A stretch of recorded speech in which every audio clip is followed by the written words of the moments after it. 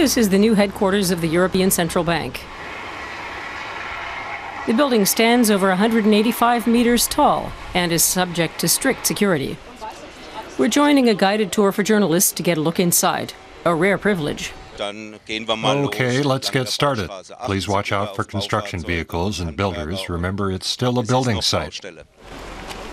The towers of the new central bank have been incorporated into a former indoor market that has protected status because it's a historic building. It's been totally transformed on the inside.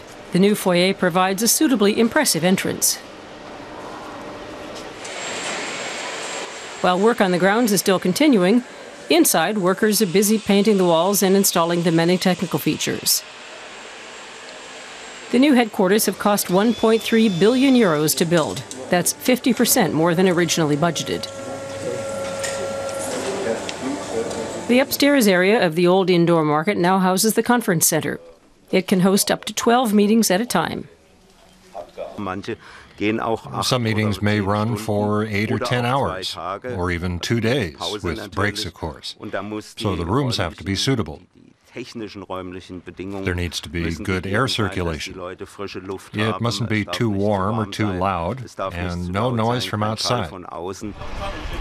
Next, we meet the architect. How did he conceive the building? Does the design reflect the ECB's mandate? You can get into hot water if you start drawing comparisons like that. But then the architect does dare to draw a comparison. There are two towers joined by an atrium. The two towers wouldn't be able to stand on their own. Two partners stabilize each other, and together they form one tower. So you could say that reflects European monetary policy.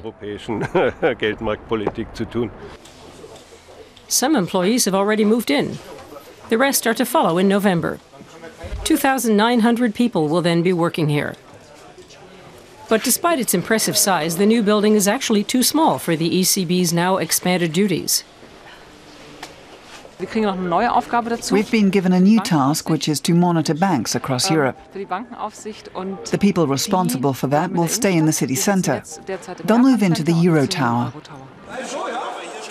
In other words, they won't be here at the ECB headquarters. There just isn't room for them. That new division alone has around a thousand employees. Planning for this building began in 2001. Obviously, the planners looked repeatedly at how the ECB was growing and what changes were needed. But no one foresaw the bank receiving such a huge new task in the immediate future. At the end of our tour, we head up to the 42nd floor and the meeting room of the ECB Executive Board. It's framed by windows on three sides. Mario Draghi will sit in the center opposite the main entrance. One journalist tries out the ECB president's chair. The decisions made in this room will determine the future of the euro. That's important stuff. Have adequate measures been taken to prevent others listening in? I can't talk about that. But there is a foolproof system. There is. So nothing can go wrong. No comment. Instead, the architect explains the design of the ceiling. It shows a distorted map of Europe. It was never our intention that the map of Europe would be directly recognizable, but that it should arouse curiosity, where you ask yourself, what is that on the ceiling? What is that wave like, cloud like structure? Now, of course, you could read something into that, but we don't see dark clouds. We see Europe.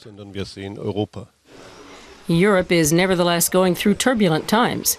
The debt crisis continues, and banks across Europe are now subject to closer monitoring.